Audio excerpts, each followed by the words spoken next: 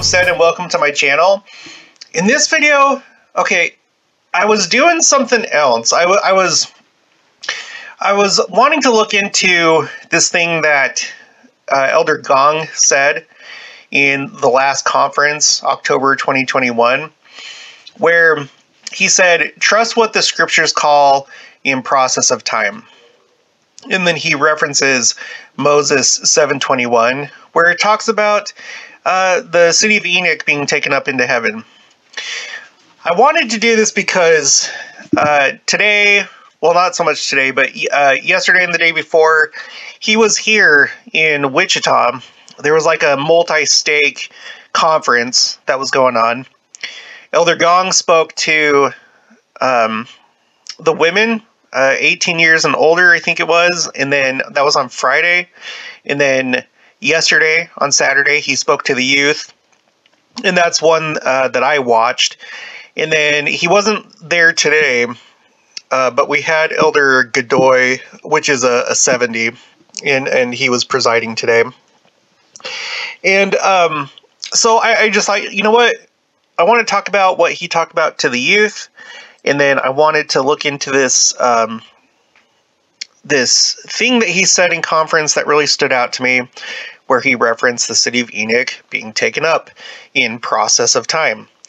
So as I started to look into this, uh, one thing led to another, and what I'm going to do, I'm going to I'm going to do just like a shorter video about what he talked about yesterday to the youth, which I thought was kind of interesting.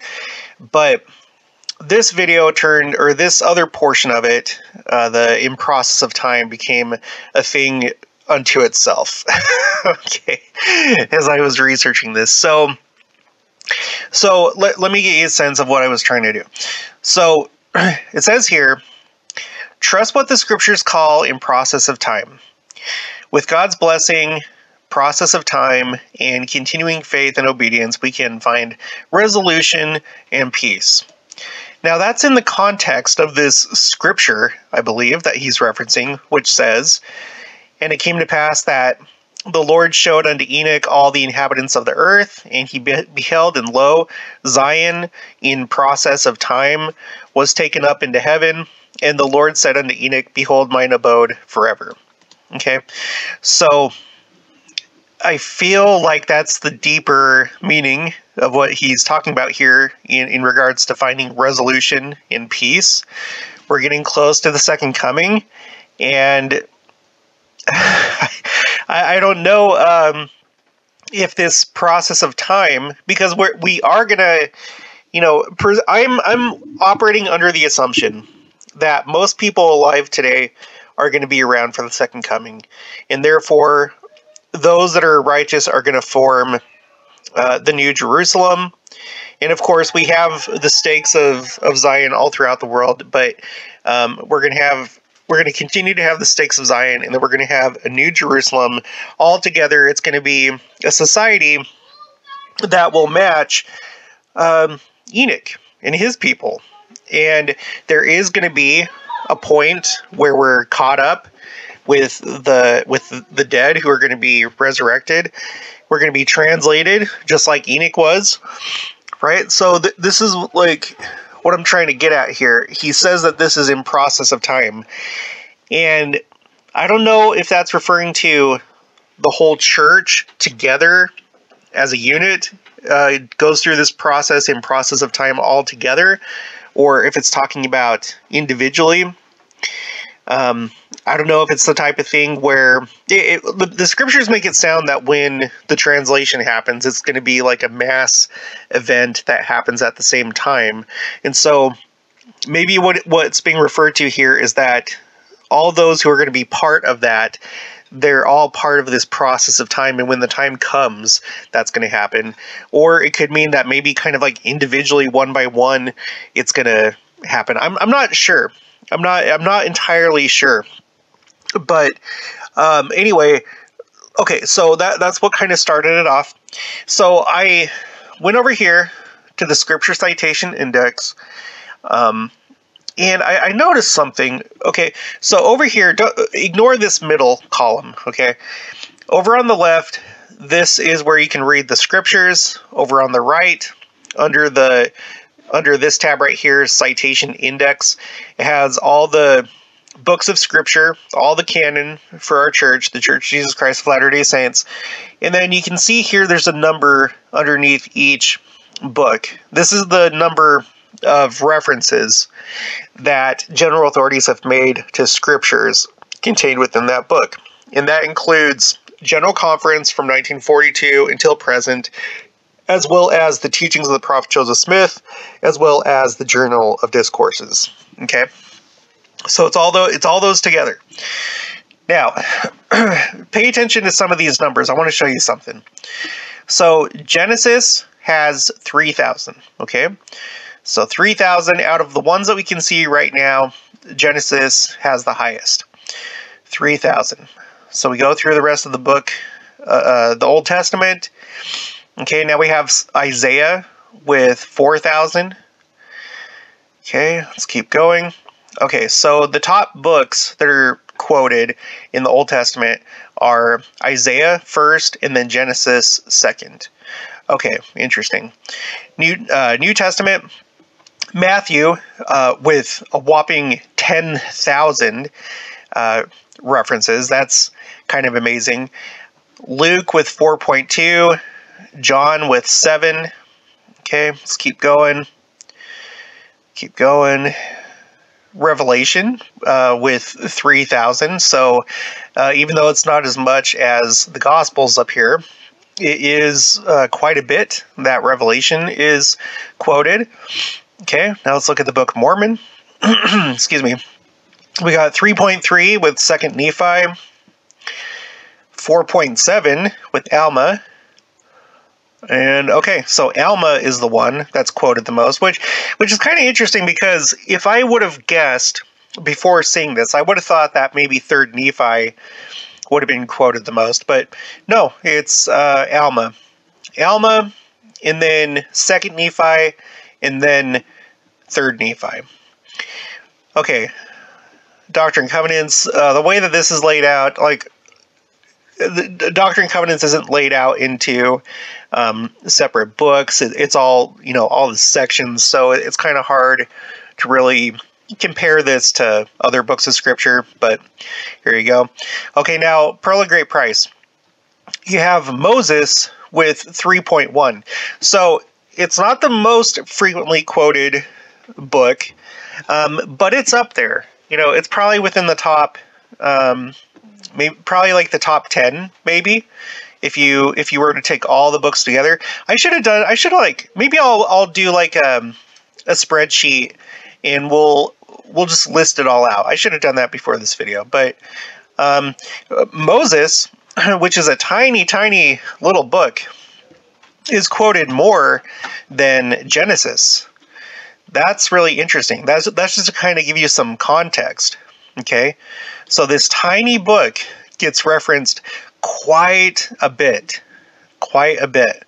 Okay, so let's click on Moses.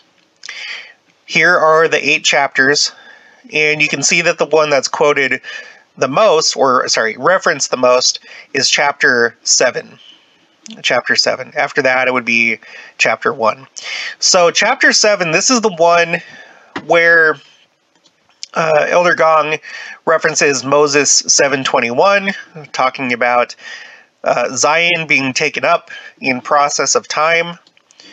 All right, so you go in here to Moses 7, and um, this is kind of what it looks like as you go through it. it. You know, you have like 1, 5, 2, 13 times for Moses 7, 4, 1, 4, 1, 1, 1, 1, da, da, da, da. Okay, so you get the idea of like what it kind of looks like. The first scripture, I pulled out the ones that are quoted the most. Uh, sorry, I keep saying quoted. Referenced. Referenced the most. Starting with verse 18. Okay. Go down here. Verse 18. Now, what I had to do, because what I did is I put this on a spreadsheet so we can look at it easier. And uh, it's a little bit more difficult compared to like when I do the spreadsheet, um, looking up specific words in search terms in general conference talks, that's a lot easier to count up. But doing scriptures is harder because, as you can see, if I was looking at verse 18, uh, you have this one right here. You know, Moses 7, 17 through 18, and 21 one time. Moses 18, 202 times. Moses uh, 7, 18 through 19 four times. So I have to like go through each one of these things individually and then count it up and then I put it here on a, a spreadsheet that's the same type of thing as uh, the second coming words and terms that that I, I, have done over here with the phrase tracker is what I'm calling it, the phrase tracker. So I have this scripture tracker. I'm going to show you what we came up with, but first I want to um, I want to read the scriptures, and then we'll go through here and see how often it comes up and during what years. Okay, so the first one by itself is uh, verse 18. It says, And the Lord called his people Zion, because they were of one heart and one mind, and dwelt in righteousness, and there was no poor among them. I find interest in this verse because it, it basically defines what Zion is. Right? It doesn't say the pure of heart, but it, it does say one of heart and one of mind. And then it, it elaborates that uh, everyone's dwelling in righteousness and there's no poor. So that that's kind of like a, a reference, I think, to the law of consecration. Okay. It seems like that's one of the defining characteristics of a Zion people, a people worthy to be taken up and translated, right? And so, um, if they're referencing this verse a lot lately, then maybe they're telling us that the time is now, or this is the goal. We need to try and get to this state of being. Be Zion, one of heart, one of mind, which means like no contention, uh, being one in purpose in righteousness. Okay, dwelt in righteousness, right? That goes along with one in heart, one in mind, um, and then no poor among them. So it's like be ready to live the law of consecration. Um, are you are you personally at that point where you'll consecrate your time, talents, money? Uh, would you be okay with switching over to an economic system where um, uh, different from what we're doing right now. You know, not communism, not socialism, but just earning, like, producing what is needful for yourself and family and for your wants, but then giving the rest of it to, um, to others, right? So that's something that we should probably all ask ourselves. Okay, and then verse 19 is the next one says, And Enoch continued his preaching in righteousness unto the people of God. And it came to pass in his days that he built a city that was called the city of holiness, even Zion. Okay? So, talking about Enoch building Zion uh, after having preached righteousness unto the people. The next one is verse 21. We already read that. Uh, this is the one, the in process of time. Okay. Now we have to go all the way down here to, sorry, it'll, it'll come up any second now. Verse 62. In righteousness will I send down out of heaven, in truth will I send forth out of the earth to bear testimony of my only begotten, his resurrection from the dead, yea, and also the resurrection of all men. Uh, remember, resurrection, even though that's like something, it seems like just like a typical common gospel concept. Uh, really, like the main resurrection is going to happen at the second coming. So I now view resurrection as a second coming concept, even though it began when Christ was resurrected 2,000 years ago. I'm viewing this as like a second coming type thing.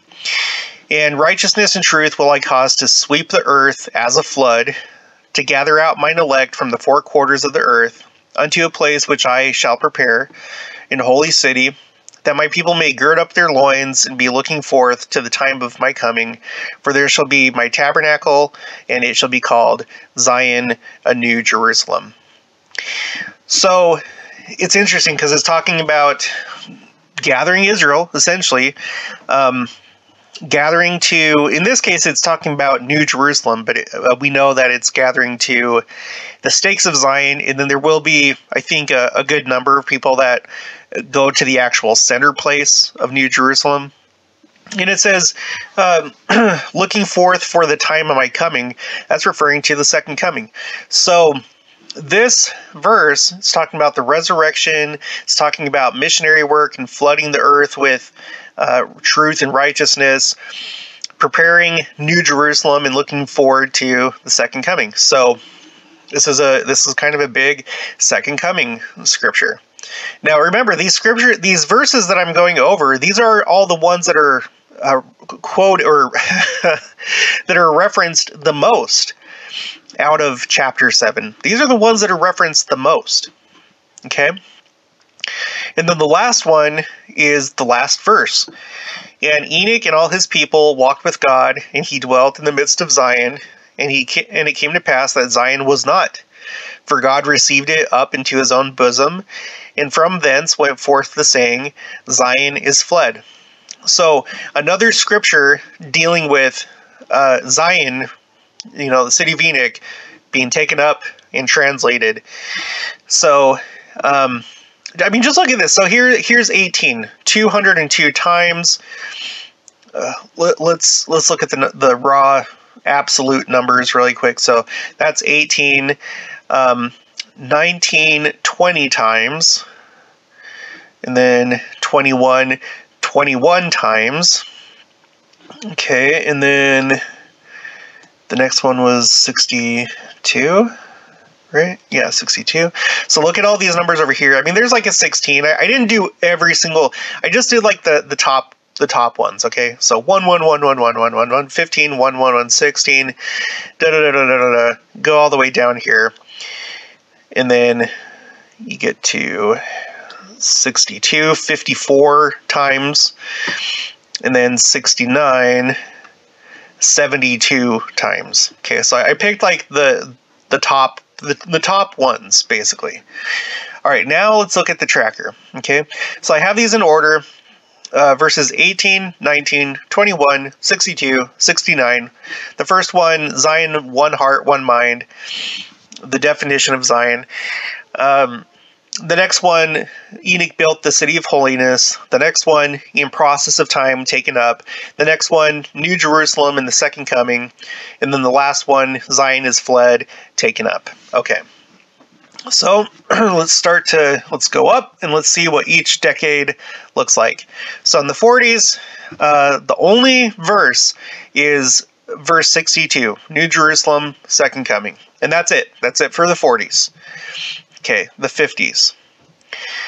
Okay, th there's more in the 50s, but it's only these two verses, verses 62 and 69. Let's look at the 60s. All right, the 60s, there's more. We have more going on. Uh, let me see if I can, if I highlight all these, does that, does it add it up down there? Yeah, it does. Eight times. One, two, three, four, five, six. Okay, yeah, eight times. So in the 50s, five times. In the 60s, eight times. Okay, let's look at the 70s. Uh, the 70s looks like it's a lot more. 13 times. Okay. Let's go on to the 80s.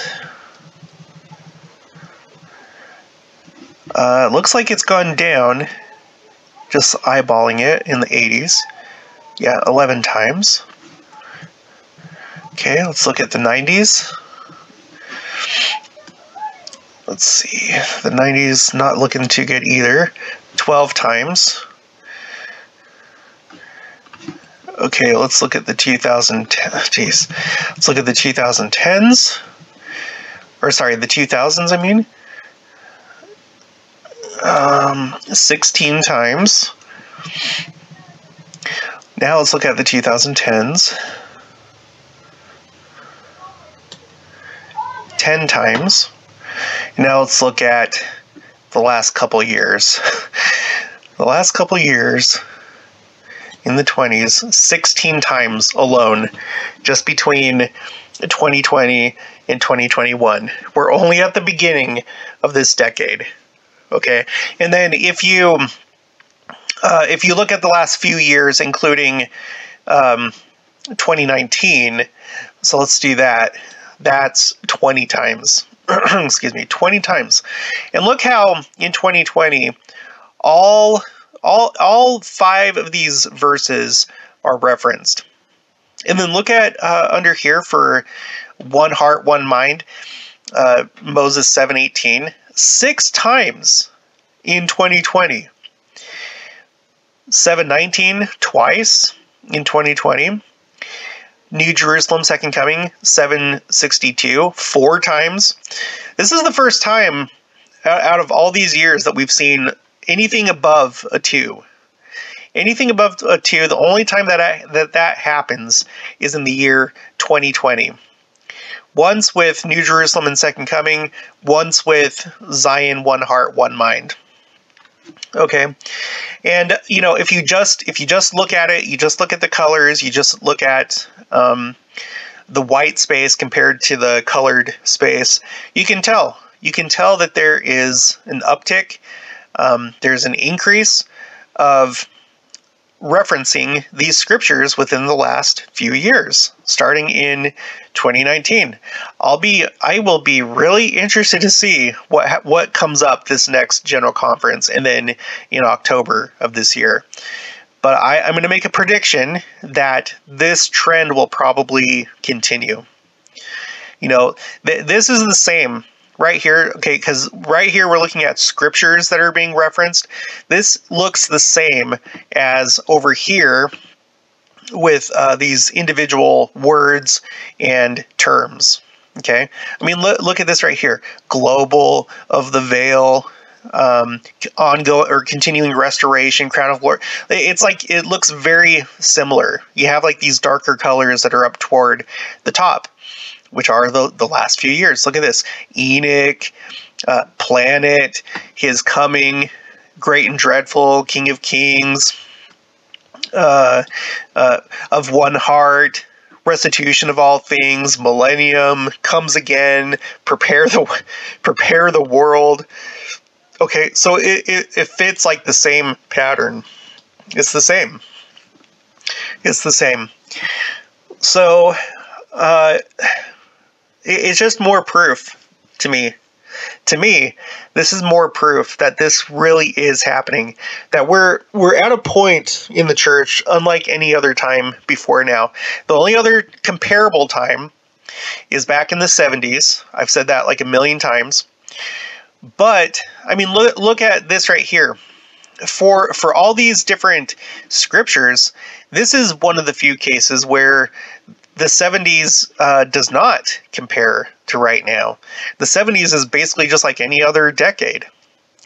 So that that's the thing that's interesting to me is that with the majority of Second Coming uh, words in search terms, the 70s are almost always just like a really heavy period of using those words in search terms. Um, Okay, and then the only other comparable time is the last couple years. But the difference is that uh, with the last few years, there are certain things that are not heavy in the 70s, and they're only heavy uh, in the last few years. So that's another way of saying that um, the last few years uh, does not really compare to any other time. There is no other time that references all the different things, okay? Not just the majority, but all of them, all across the board. All across the board. And this is an example right here. These scriptures uh, talking about Enoch, translation, New Jerusalem, Second Coming, all of these are referenced within the last few years and a lot. Okay? So, uh, it, it this is a time when we need to just really be aware of um, our situation. You know, it, it, doesn't matter what year you you were born, lived in. Um, now is always the best time to make sure that you repent, that you're righteous, okay, it, always throughout the entire history of the earth, because when it comes down to it, personally, on a personal level, you could die at any time. But what we're approaching right now, the second coming, is like a, it's almost like a universal, um, kind of like death or judgment event. Like it, it is, it is for those that are living in telestial law. Uh, their their lives are literally going to end, and I don't need, mean to make light of it. It literally going to end uh, when Christ comes and cleanses the earth. Okay, so and uh, you know, putting that aside, uh, there's all sorts of judgments and stuff coming on the earth.